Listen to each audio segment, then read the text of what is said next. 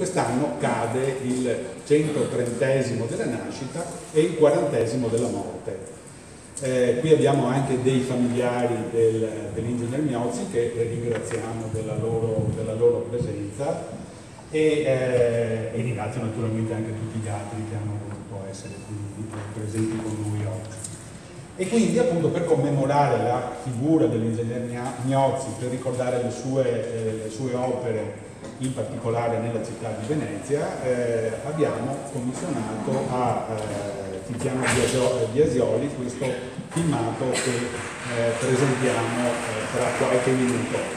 È una decina di minuti quindi non è assolutamente lungo, eh, però insomma dà l'idea di quelle che sono state le opere che lui ha realizzato, tra l'altro in pochissimi anni qui nella città di Venezia, erano altri tempi, le cose si potevano evidentemente fare con eh, maggiore eh, velocità, con più semplicità e vedremo quali sono. Eh, passo adesso la parola a Maurizio Pozzato per eh, ulteriori indicazioni sul filmato e poi Tiziano Piasioli.